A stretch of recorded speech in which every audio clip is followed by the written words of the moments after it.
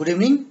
In this video, I'll discuss about how to apply pooled method of panel data regression.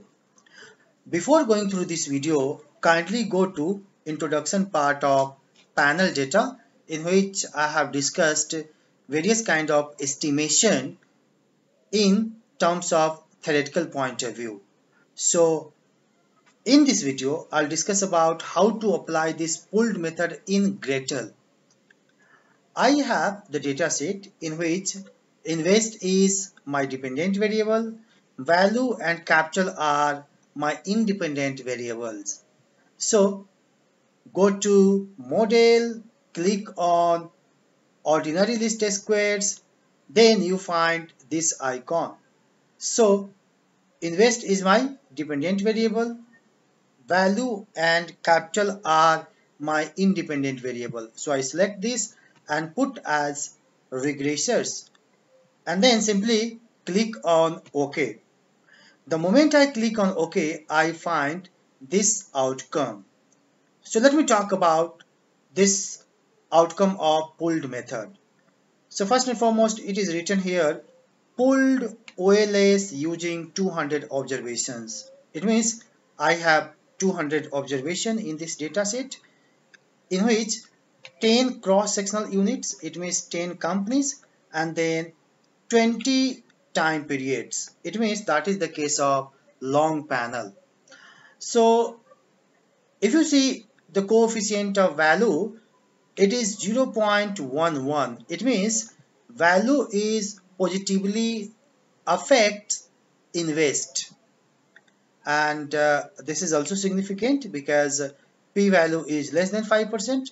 Similarly, capital is also positively affecting to this invest and uh, this is also significant.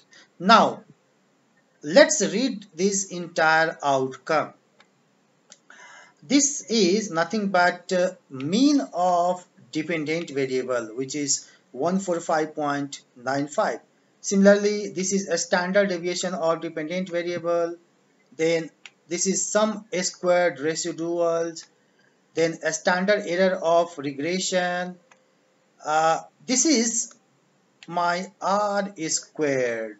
So that is 81.24% and this is adjusted R squared. So we all know that R squared is nothing but uh, explanation of uh, IDVs to DVs. It means value and capital stock explains this invest by 81.24% and uh, this adjusted R squared is also near to this R squared which is uh, good. Apart from this either your model is fit or not that can be determined by this p-value of f statistics which is less than 5%. It means the p-value of this f statistics is less than 5% only then we can say that our model is fit. This is our log likelihood and uh, rest of the outcome like uh, this Akaike information criteria HC criteria, then HQ criteria. These are the criteria through which we select uh, the best model. So as uh, automatically it is calculated uh, in this software. Now rho. This rho is nothing but uh, we can say that the variance of uh, dependent variable happens or created because of individual effect or individual specific terms.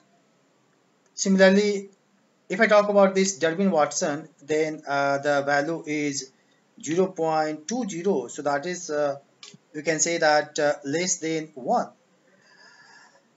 The value of Durbin-Watson should be 1, 2, 3 but it is less than 1 so somewhere we can say that there is a problem of autocorrelation in this data set so uh, that is all about uh, the pooled method in gretl. Thank you